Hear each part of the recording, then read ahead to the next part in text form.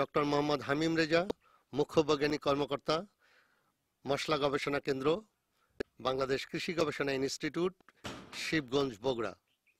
আমরা ছাদ বাগানে অন্যান্য যেমন সবজি, তারপরে ফুল, ফল এবং মশলা জাতীয় ফসলও আমরা এখানে ছাদ বাগানে আবাদ করতে পারি। তার মধ্যে আমাদের বর্তমানে আমরা মশলা গবেষণা কেন্দ্র থেকে যে গ্রীষ্মকালীন পিএস, বাড়ি পিএস পাস উদ্ভাবন করেছি, সেটি একটা বিরাট আমাদের পিএজের ঘাটতি পূরণে আমাদের বিরাট সহায়ক ভূমিকা পালন করবে এবং আমরা ইতিমধ্যেই গবেষণা করে দেখেছি যে আমাদের এই বাড়ি পিএস পাস যদিও গ্রীষ্মকালীন, এটি মূলত সারা বছরেই আবাদ করা যায়। তার মধ্যে আমরা গবেষণা করে আরও পেয়েছি যে পাঁচ মিটার বাই দুই মিটার অর্থাৎ দশ বর্গ মিটার জায়গাতে এবং আমরা যদি দুই মিটার বাই এক মিটারের একটা করে ট্রে তৈরি করে এবং এই ধরনের পাঁচটা ট্রে হলে আমাদের দশ বর্গ মিটার ট্রে হয়ে যায়, আমরা সেখানে ছাদ বাগানে আমরা এই ট্রেতে বৎসরে তিনবার, একটা হচ্ছে ফেব্রুয়ারি মাসে একটা জুন মাসে এবং সেপ্টেম্বর মাসে।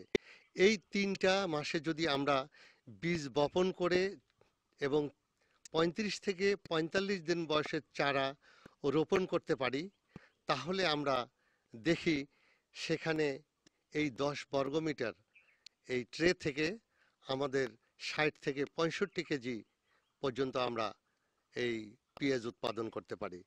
যা দিয়ে আমাদের চার থেকে পাঁচ সদস্য বিশিষ্ট একটি পরিবারের সারা বছরের পেঁয়াজের চাহিদা আমরা পূরণ করতে পারি।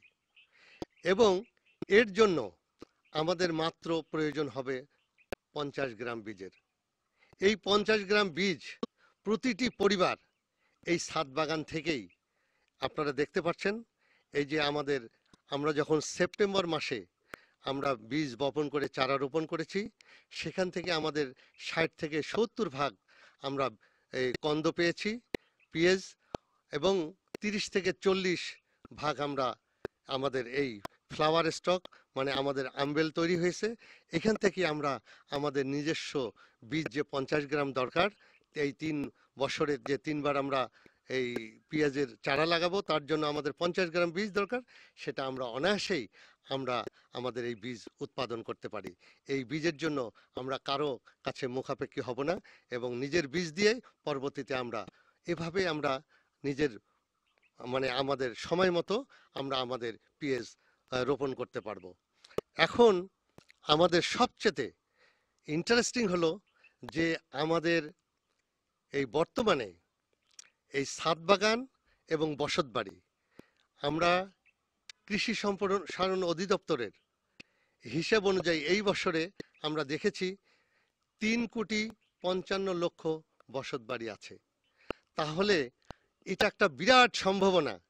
এই জাতটি যদি আমরা ব্যাপকভাবে এই কৃষি তত্ত্ব সার্ভিসের মাধ্যমে একটা ডকুমেন্টারি করে, আমরা যদি এটা ইউটিউবের মাধ্যমে হোক বা ব্যাপকভাবে প্রচার প্রচারণার মাধ্যমে যদি প্রত্যেকটা পরিবারের কাছে আমরা পৌঁছে দিতে পারি, তাহলে এই পরিবারগুলো এই তাদের পিএস কেনার জন্য বাজারে যেতে হবে না। এবং আমাদের যে পেঁয়াজের যে ঘাটতি নয় থেকে দশ লক্ষ মেট্রিক টন প্রতি বছরে হচ্ছে। তার সিংহভাগ আমরা ছাদ বাগান এবং বসত বাড়ির থেকেই আমরা অর্ধেকেরও বেশি আমরা এই শুধু এই দুইটা জায়গা থেকে পূরণ করতে পারি। এছাড়াও তো আমাদের অন্যান্য প্লেন আমাদের ল্যান্ড আছে, সেখান থেকে তো আমাদের উইন্টার সিজনের ভ্যারাইটি আছে। আমাদের বাড়ি পেঁয়াজ চার, বাড়ি পেঁয়াজ ছয় এবং আমাদের বাড়ি পেঁয়াজ পাঁচও আমাদের অন্যান্য প্লেন ল্যান্ডেও আমাদের করার সুযোগ আছে।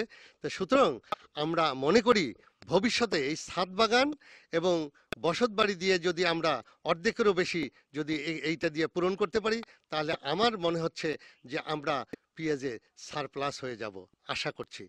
তো যাই হোক, এবং আমাদের এই প্রযুক্তি, এটা একটা ব্যাপক সম্ভাবনা এবং আমি মনে করি বাড়ি পিএস পাস বাংলাদেশের জন্য একটা আশীর্বাদ স্বরূপ। কারণ এটার বীজ উৎপাদন, বাংলাদেশের যে আবহাওয়া, তাতে আমরা দেখছি এখানে অন্তত এই সাড়ে সাতশো থেকে আটশো কেজি পর্যন্ত, এমনকি কখনো কখনো এক হাজার কেজি পর্যন্ত প্রতি হেক্টরে আমাদের বীজ উৎপাদন করা সম্ভব। সেটা আপনারা ইতিমধ্যেই দেখেন যে আমাদের ছাদ বাগানে কত সুন্দর সুন্দর আম্বেল। এই এক একটা বড় আমবেল থেকে মিনিমাম আমাদের পাঁচ গ্রাম বীজ তো ইজিলি হবে। তাহলে দশটা আম্বেল রাখলে পাঁচ দশে পঞ্চাশ গ্রাম। তাহলে এই পঞ্চাশ গ্রাম দিয়ে তো আমরা আমাদের সারা বছরের পেঁয়াজের চাহিদা আমরা পূরণ করতে পারি। তা যাই হোক আমরা আমি আশাবাদী এবং আপনারা প্রত্যেককেই, প্রত্যেকটি পরিবারে আপনারা এগিয়ে আসুন, আমরা আপনাদেরকে এই প্রযুক্তিগত সহায়তা করব।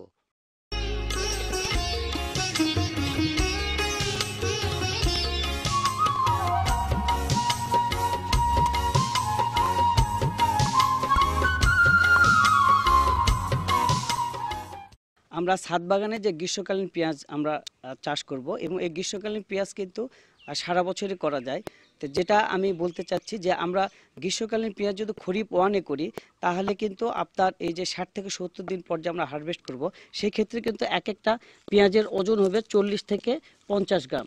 তো এটা আপনার ষাট থেকে আপনার সত্তর দিন পরে হারভেস্ট করতে হবে এবং আমরা যদি খরিফ খরিফ টুতে যদি করি, অর্থাৎ July, August, June July, August, September এইরকম সময় যদি করি, তাহলে কিন্তু আমরা যে এক একটা পেঁয়াজের যে ওজন হবে, দেখেন এক একটা পেঁয়াজের ওজন হবে প্রায় কিন্তু একশো আশি থেকে দুইশো গ্রাম এবং অনেক ক্ষেত্রে এটা যদি আমরা একশো দিন বা একশো দশ দিন রাখি, তাহলে কিন্তু গড় ওজন প্রায় দুইশো থেকে আড়াইশো গ্রাম হবে। এটি ব্যবস্থাপনা একটি গুরুত্বপূর্ণ বিষয়। ছাদ বাগানে আমরা সবাই জানি যে আমরা ছাদ বাগানে যে মাটিটা আমরা ইউজ করি, এটা সাধারণত যত মানে হালকা হবে এবং যাতে যেহেতু ছাদ বাগানে আমরা ট্রেতে সাধারণত অথবা টবে আমরা মাটি ভরি, তাই সেই ক্ষেত্রে আপনার মৃত্তিকা যে সয়েল নিউট্রিয়েন্ট যে, সেটা একটা কিন্তু গুরুত্বপূর্ণ বিষয়। তা আমরা সাধারণত বলি যে, ছাদ বাগানে আমরা যে, মাটি এবং গোবর সারের একটা নির্দিষ্ট অনুপাতে আমরা মিশাবো। সেই ক্ষেত্রে আমরা ফিফটি পার্সেন্ট হলো বেলে দোআঁশ মাটি, আর ফিফটি পার্সেন্ট হলো আপনার অয়েল ডিকম্পোস্ট গোবর সার। প্রয়োজনীয় পরিমাণ মাটি এবং গোবর সার মিশে তারপরে এই মাটিটা আমরা ট্রেতে নিব এবং এখানে আমরা যে চারা লাগাবো সেটা সাধারণত গ্রীষ্মকালীন পেঁয়াজের ক্ষেত্রে পঁয়ত্রিশ থেকে চল্লিশ দিনের চারা এবং এটা আমরা চারা লাগাবো হলো একটা চারা থেকে আরেকটা চারার দূরত্ব হবে আপনার পাঁচ সেন্টিমিটার এবং একটা শাড়ি থেকে আরেকটা সারি দূরত্ব হবে দশ সেন্টিমিটার। তো এরকম হলো এক মিটার বাই হলো আপনার পয়েন্ট সিক্স মিটার এরকম একটা ট্রেতে আপনার হলো পঞ্চাশ থেকে ষাটটা আমরা পেঁয়াজের চারা আমরা লাগাতে পারব। আমরা যে ছাদ বাগানে যে গ্রীষ্মকালীন পেঁয়াজ চাষ অথবা মশলা ফসল যেটারই হোক আমরা যে চাষ করি, এক্ষেত্রে কিন্তু আমাদের একটা বাড়তি সুবিধা। কারণ আপনার ছাদ বাগানে কিন্তু রোগ এবং পোকার আক্রমণ কিন্তু কম হয় এবং আমরা সীমিত পরিসরে যেহেতু এখানে করা হয় এবং নিবিড় পরিচর্যা যেহেতু করা হয়, সেক্ষেত্রে কিন্তু রোগ বালাইও কম হয় এবং আমরা যদি পোকারও যদি আক্রমণ হয়, তাহলে কিন্তু আমরা এই হাতের মাধ্যমে হ্যান্ড পিকিং করে কিন্তু সেগুলো আমরা দমন করতে পারি। তো সেই ক্ষেত্রে আমি, আমরা বলতে চাই যে হোমস্টে এবং ছাদ বাগানে রোগ এবং পোকার আক্রমণ খুবই কম। যদি আক্রমণ হয় সেই ক্ষেত্রে আমরা প্রথমে আমরা হ্যান্ড পিকিং করব, তারপরে যদি সেক্ষেত্রে কন্ট্রোল না হয়, সেক্ষেত্রে আমরা ইনসেকটিসাইড বা ফাঞ্জিসাইড ব্যবহার করতে বলি। ছাদ বাগান এবং বসত বাড়িতে পেঁয়াজের বীজ উৎপাদনের ক্ষেত্রে যদি মৌমাছি না আসে, তাহলে কিন্তু আমরা হাতের মাধ্যমে কিন্তু আমরা পরাগায়ন করতে পারি।